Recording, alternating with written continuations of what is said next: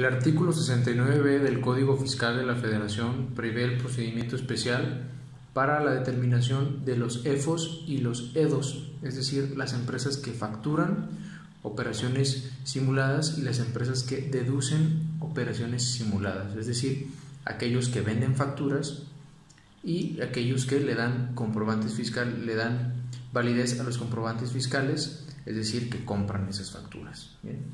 Ahora, esta situación y este procedimiento es algo real, es un riesgo latente para muchos contribuyentes. ¿Por qué? Porque el SAT en la mayoría de las ocasiones o muchas veces tiene una apreciación errónea de los hechos.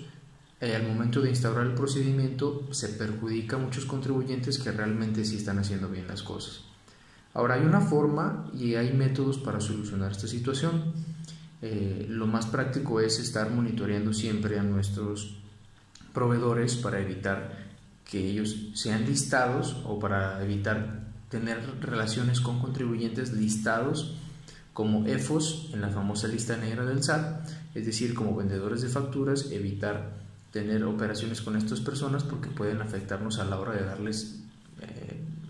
de darles valor fiscal o darles efectos fiscales a los comprobantes emitidos por este contribuyente. Pero hay otros medios que puede utilizar eh, una empresa o una persona para reducir su, riesgo, su margen de riesgo para con este tipo de, de, contribuyentes, este tipo de cuestiones. ¿no? Lo primero es pues, evitarlos en la medida de lo posible, pero esto se vuelve muy complejo, entonces hay formas de reforzar en, dentro de los procesos de la empresa y de los procesos de las negociaciones en general, reforzar los puntos de riesgo para evitar y para en que en caso de que alguno de nuestros proveedores llegara a caer en lista 69, ya sea de manera legítima o por error, eh, mitigar el riesgo para con nosotros y que no nos afecte a la hora de realizar nuestras deducciones y que no tengamos consecuencias como multas, pagos de impuestos injustos, etc. La solución pues es, es muy sencilla, es simplemente obviamente de la mano de un profesional reforzar aquellas áreas de riesgo en las cuales el SAT pudiera decretar o presumir que no existe materialidad, es decir, que esas operaciones nunca se realizaron. Esto se hace eh, elaborando pues un soporte documental, eh, documentos como contratos, como bitácoras certificadas, fe de hechos de algún notario en ciertos eh, procesos específicos, el monitoreo constante obviamente de las listas del SAT, la mejora de procesos y ver situaciones incluso hasta de certificación, ya ahorita hay muchos tipos de certificación no únicamente necesita ser con un notario, hay otras formas de certificar y darle validez y certeza a las operaciones que se han realizado para que en dado caso si alguno de nuestros perdón, alguno de nuestros proveedores cae y es listado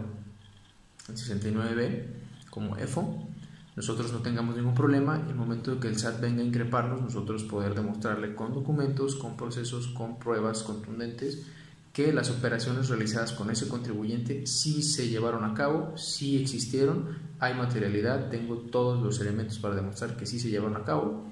y nos dejen paz y no tengamos ninguna complicación fiscal. Eh, nosotros tenemos más de 11 años eh, trabajando en la materia fiscal y más de 6 años especializándonos en la defensa para contribuyentes con problemas eh, de este procedimiento 69B y con gusto podemos asesorarles Podemos trabajar de la mano con ustedes para la mejora en sus procesos, la optimización de, esas áreas de riesgo que pudiera haber y evitarles así inconvenientes con la autoridad, con el SAT y con proveedores que pudieran, incluso hasta de manera fortuita o accidental, caer en las listas del 69B.